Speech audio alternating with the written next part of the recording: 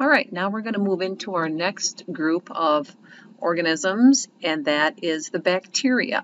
We call the bacteria and the archaea the prokaryotes. Prokaryote means before a nucleus. So these are very simple, single-celled organisms that lack a nucleus and lack many of the organelles that we've talked about when we studied the cell. But we'll talk about some of the structures that are unique to the bacteria.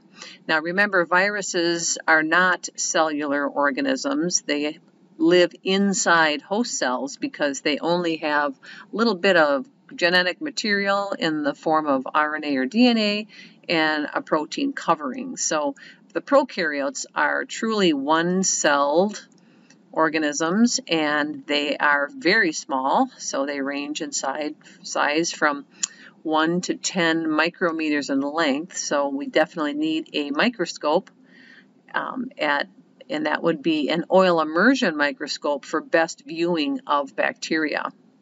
If you were taking this course in person, you would be able to actually do that with our oil immersion microscopes.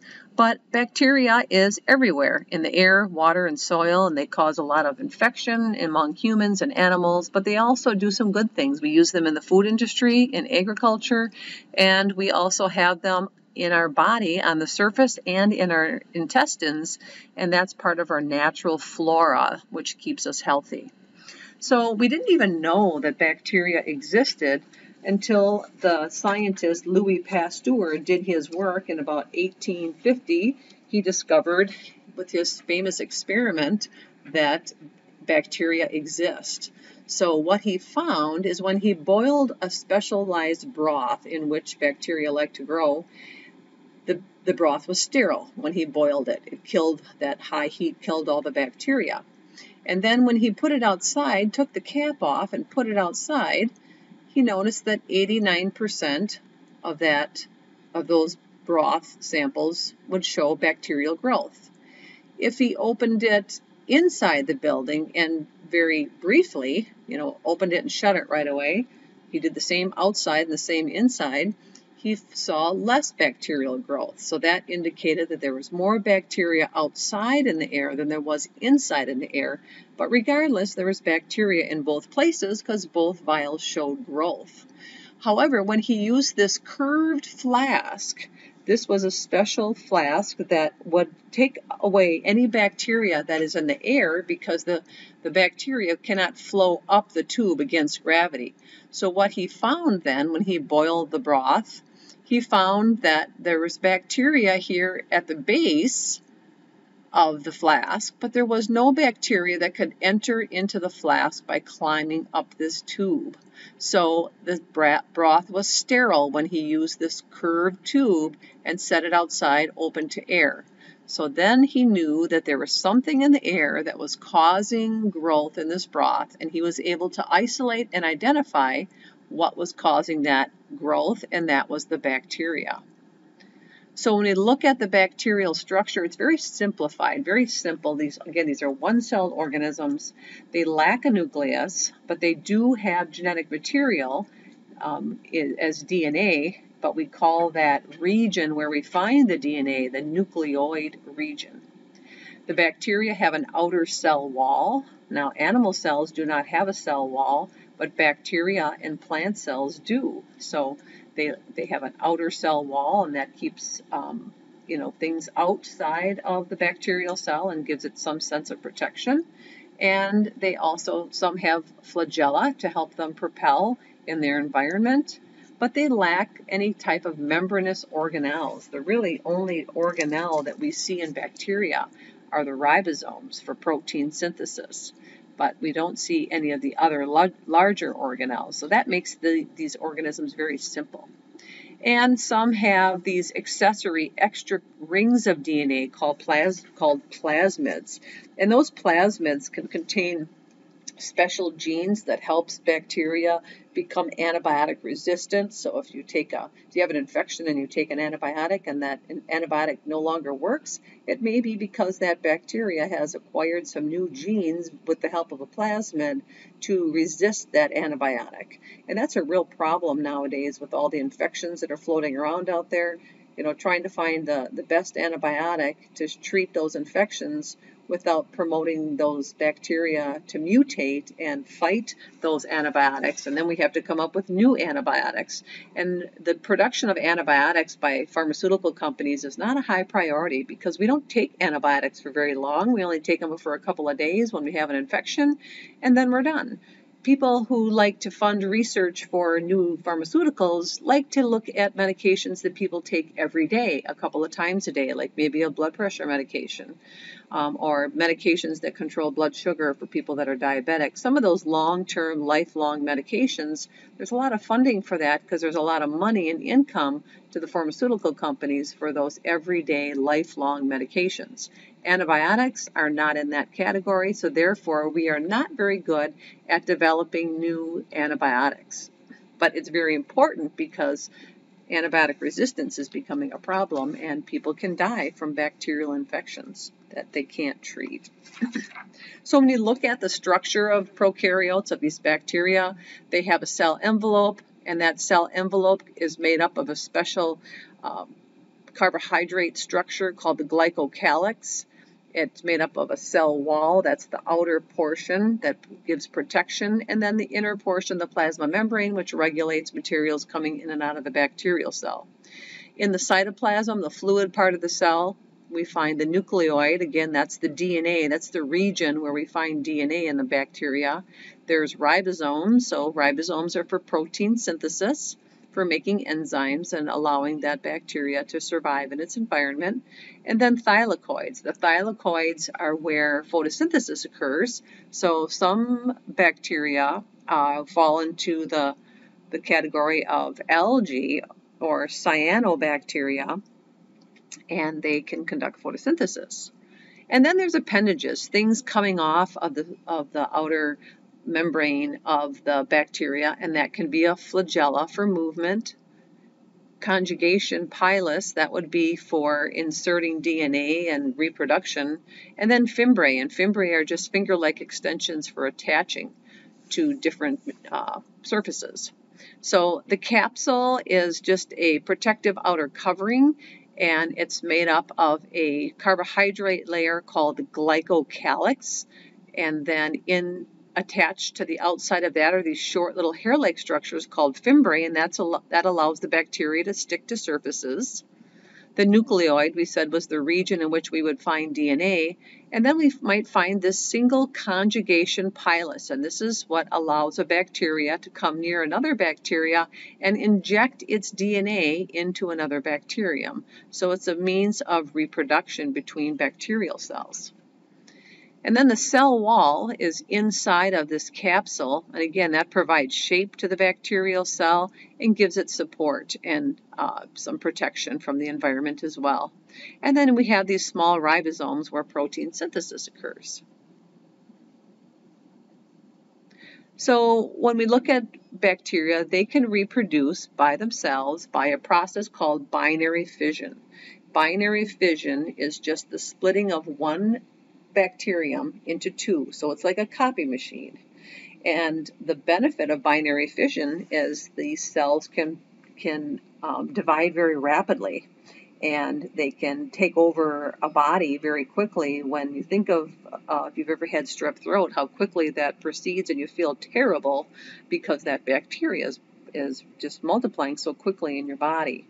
And it takes as long as 12 minutes for those cells to undergo what we call a generation time, and that is a curve that rises very quickly, and only bacteria are capable of that type of reproduction. And it's simply because binary fission is so rapid, it's just a, a splitting of the cell into two very quickly, and it's an exact copy machine. But mutations can occur during this process, and that will again be very quickly um, passed on to the next offspring as those cells divide and split in half and, and make copies of one another very quickly. So when we look at um, binary fission, it's just simply that um, kind of uh, division of the cytoplasm and the nucleoid, the DNA replicates, and we have two copies, exact copies of that bacterial cell. Other means of reproduction in bacterial cells, we have conjugation. That's where we have that conjugation pilus that we found on that previous page here. That's where it injects its material into the other bacterial cell. So that is um, called conjugation. And that is um, when we have one cell, just like I said, injecting DNA to another cell.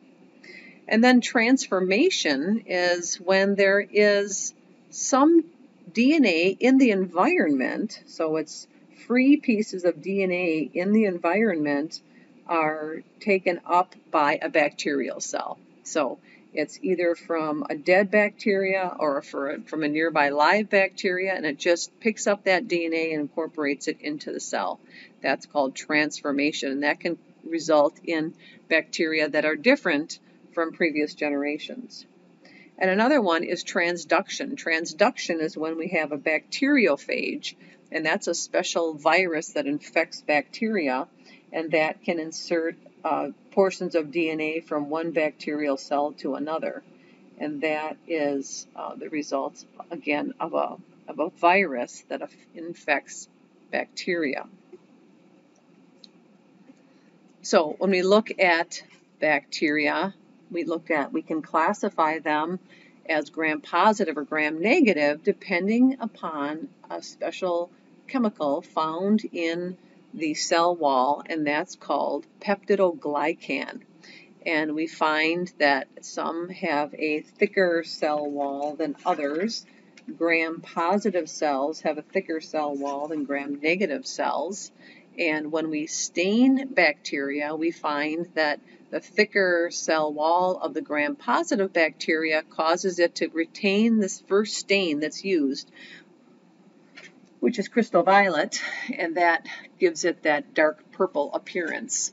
But um, when we continue the staining technique, we take that crystal violet and we wash it out with alcohol, and then we use safranin, uh, which is a red um, stain. And what we find is that turns the bacteria red. So gram-negative bacteria, because they have a thinner cell wall, do not retain the first dye that we use that, that actually gets washed away and the second dye that's used is retained and that gives those cells a red appearance. So gram-positive bacteria have a dark purple appearance and they have a thicker cell wall and gram-negative bacteria have a red appearance due to the thinner cell wall. So we can look at this diagram here uh, here's the crystal violet that's applied first, then we use grams iodine, then we wash it with alcohol, and then we use the red dye, the safranin. So we can see if it's a gram positive and has a very thick cell wall, it's going to retain that purple stain throughout the staining process because that thick cell wall absorbs that crystal violet and keeps it. But if we look at the gram-negative bacteria, we can see it starts out purple, but then it's washed away by the alcohol. The purple is washed away and then restained again with the safranin. So that's gram-negative bacteria. And this slide here is a mixture of gram-positive and gram-negative bacteria. You can see that some are dark purple, those are the gram-positive, and some are red, that's the gram-negative. So we can also look at bacteria by their shapes. There's a spiral-shaped bacteria, a rod-shaped bacteria, and a round-shaped bacteria. When it has a um, kind of a spiral shape, we call that spirilla. Bacilli is a rod shape, so if it looks like a little, um, best way is kind of like a tic tac is what they look like, if you remember what tic tacs look like. Um, that's what a bacillus looks like. It's a rod-shaped bacteria. And then if it's perfectly round, little circles, little dark purple circles, we call that cocci. Or if we have one, we call it a coccus. You've heard of staphylococcus before, or maybe you've heard of streptococcus before. Strep throat is caused by streptococcus bacteria, and that is a type of bacteria that is round in appearance. So when we look at bacteria, we can kind of classify them according to how they use oxygen. If they are required to live in the presence of oxygen, we call them obligate aerobes. Aerobic means using oxygen. So that means if they are obligated to grow in oxygen, that means they will die if there is no oxygen. So these are obligate aerobes. And there are some bacteria that die in the presence of oxygen. So we call them obligate anaerobes, which means they cannot survive with, with oxygen. They don't like oxygen. So botulism, gas gangrene, and tetanus are examples of bacteria that don't like oxygen. Now you've heard of getting your tetanus shot. That is that um, commonly can be inserted into our skin and that bacterium can grow when we have puncture wounds because puncture wounds open up the skin and then the skin closes behind that puncture and it's an oxygen free environment. So the bacteria can grow in that wound because the wound is closed and not open to air. So any type of puncture wound when you step on something sharp and the skin closes you know after the after the injury that puts someone at risk for tetanus. And that's another reason why they won't stitch up dirty wounds, like if you cut yourself working out in the field. They, oftentimes they won't stitch those up because they they don't want to trap bacteria under the skin in an oxygen-free environment, and these obligate anaerobes can thrive and survive and cause serious infection. They like to leave, you know, dirty wounds open to air and just clean them out really good. And then we have facultative anaerobes, which means they can grow with or without oxygen. Another type of bacteria we have are the autotrophic bacteria. And these are bacteria that can make their own food. They get their energy from a source other than um, other living organisms or um, like when we think of algae, for example, those are photoautotrophs. They use light to make energy. So they can they use solar energy to make oxygen.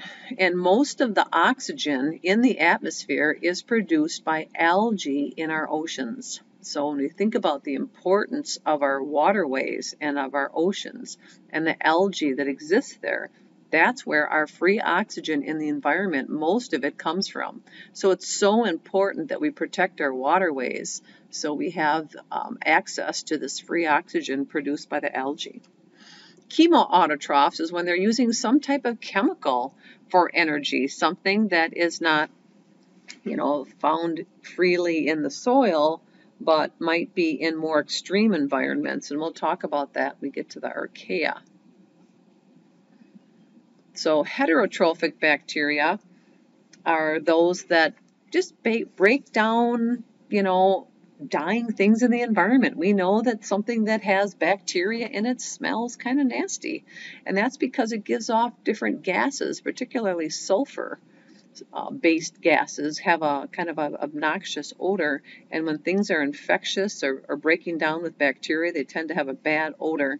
But that's a great thing because it's necessary to break things. You know, dead animals, roadkill, are broken down by bacteria and converted into nutrients for the soil and other organisms. So it eventually breaks down and is a sign of a healthy ecosystem when the bacteria are doing their job and there's not you know, um, too much, obviously, decay and destruction, but when we have just the right amount.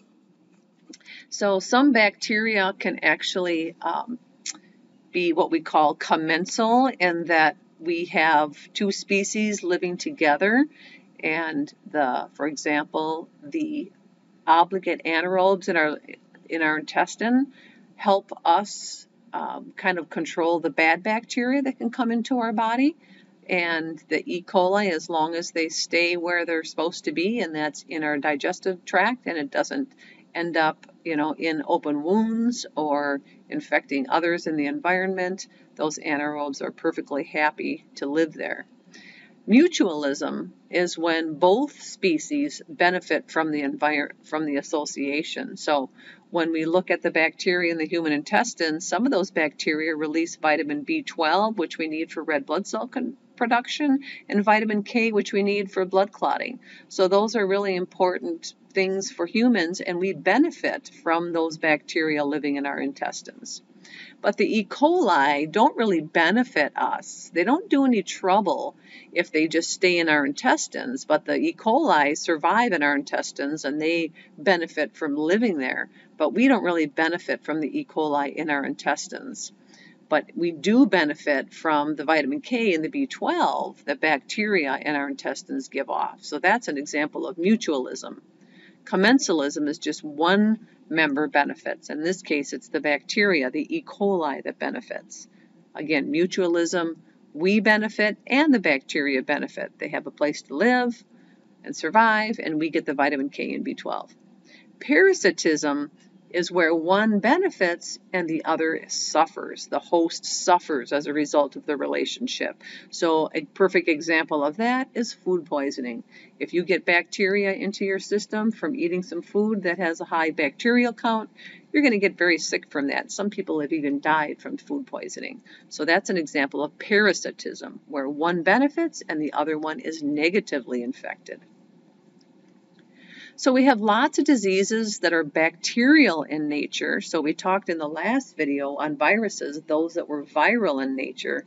These diseases in this chart are bacterial in nature. So the good news is we can use antibiotics for a lot of these diseases. So if a person picks up an STD, gonorrhea, chlamydia, those can be treated with antibiotics and they can go away permanently. It's not something that someone has to live with their entire lives, like the viral STDs, for example, like AIDS, um, HPV, and herpes. Those are with us for life, but these diseases can go away with antibiotic treatments. So I'm not going to go through each one of these. You can just kind of read through that list.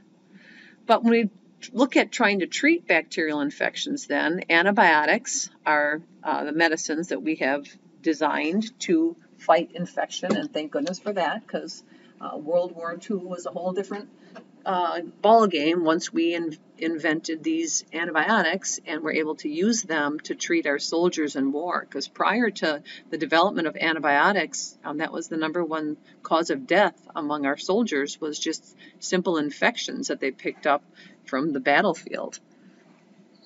So there's different uh, classes that antibiotics fall into depending on how they work. If they inhibit protein synthesis, then those are the erythromycin and tetracycline antibiotics. Other ones put holes in the cell wall and the bacteria basically implode. They, they cannot contain their cytoplasm because they have a broken down cell wall. So the penicillins, the ampicillins, and the fluoroquinolone, those are all um, antibiotics that break down the cell wall. But again, um, it doesn't harm the host cell, it only harms the bacterial cells. Because remember, animal cells and human cells, right, we don't have cell walls. So it doesn't hurt the host organism when they take antibiotics, it just kills the bacteria in that host. But we know that bacterial resistance is increasing, and 90% of staph infections are resistant to penicillin and there's another uh, stronger antibiotic called methicillin, and the, there's something we call MRSA. Maybe you've heard of this. It stands for methicillin resistant Staph aureus. So this is a very common bacteria, Staph aureus. It's an infectious bacteria. Some people have it in their nose and it just kind of resides there. It colonizes there and doesn't really cause the individual any illness, but they can spread illness to others. For example, my husband had it in his nose and he spread impetigo to our children, which is Staph aureus infections of the skin. And we finally realized the source of it, he had a special ointment that he put in his nose, and it took care of that Staph aureus. So some people have it in their nose and they don't even realize it.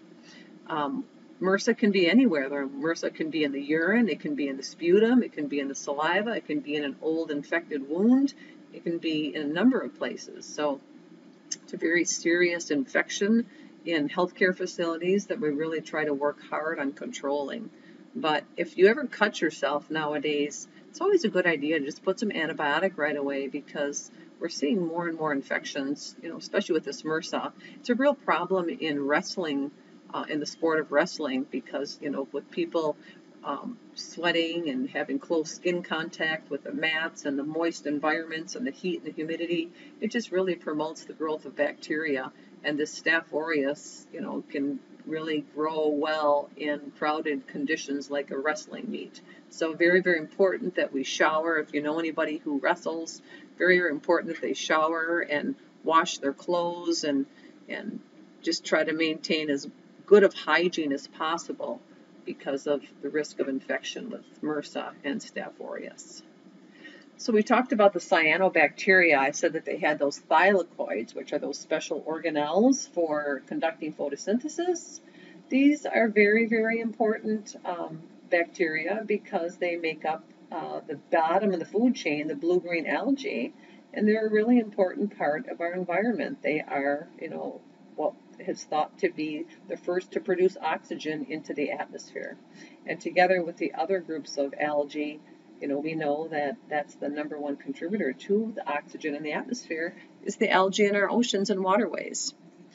So when we look at these bacteria, when would they associate with the fungus on a tree, on the surface of a tree, the, the bark, you can see these lichens. And lichens are those kind of flaky, light green, white little patches you see on tree trunks.